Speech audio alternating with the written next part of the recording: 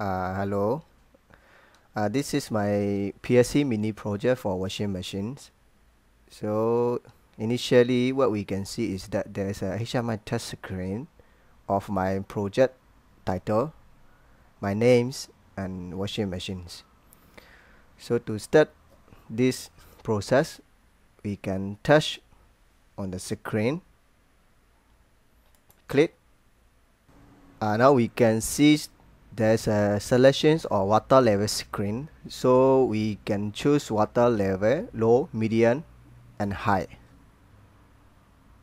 It's based on what your needs so I will select my water level to high. So even when we can select it back to medium and low.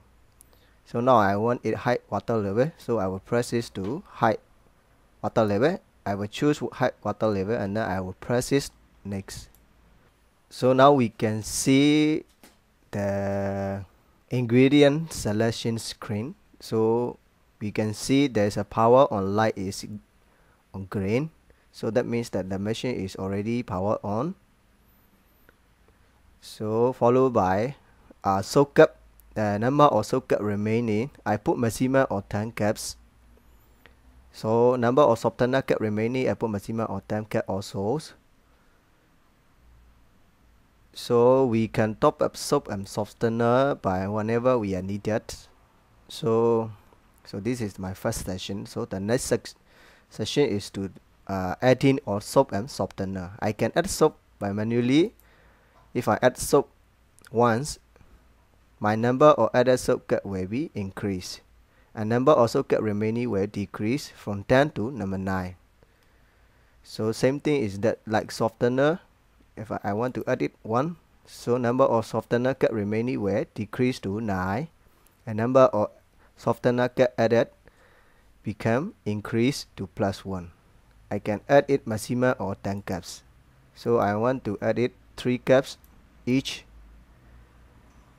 Now and I press continue button. So now we can see the operation screen. I choose high water level and then high water level water inlet opening valve is counting.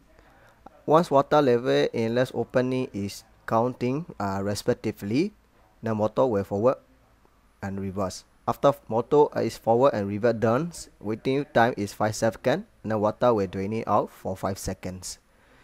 So the operation will do again. Auto forward reverse forwards and reverse. After motor forward reverse turns there's a waiting time of 5 seconds. 5 4 3 2 1 once the waiting time done water will drain off. Water is draining for 5 seconds. The remaining count to finish becomes 0 uh, it's meaning that we are no longer need to wait for another times for, for motor forward and reverse. Once everything is done, there is a finish button it light up. It's blinking. So that means that our operation is done. So once we finish light is blinking, so we need to uh, acknowledge on finish button. So it means that we our operation is done completely. Uh, once we have pressed finish button and it will go back to our home screen. So again, we press the touch screen. So we can choose water level, whatever uh, we are needed. So uh, in this row, I will select medium water level and then I will press next. So we can see there is a remaining number or softener and soap get are 4 each. So will top up soap manually to 10 uh, because I program it socket number of socket remaining to maximum or 10 caps. Same thing for softener. So I will add my soap uh, I will add my softener cap.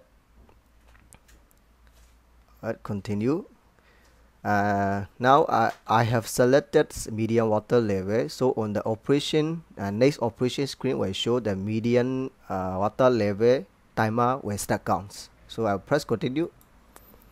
The medium water level timer is counted. Water inlet is opening. Once opening is done motor will start to move forwards and reverse. Forwards and reverse so once forward reverse turns there's a waiting time before drain is 5 seconds. 5 4 3 2 1 once waiting times is done water inlet water draining is start to drain for 5 seconds. There's a remaining count to finish uh, now is plus 1 meaning is that we have one more round to go. Motor is forward and reverse. So reverse uh, forward uh, reverse. Once done the timer will start count to wait after wait water, water will start to drain out and remaining count there's a no time no no time less to count another time. So once the operation is done our finish light will light up and finish button will appear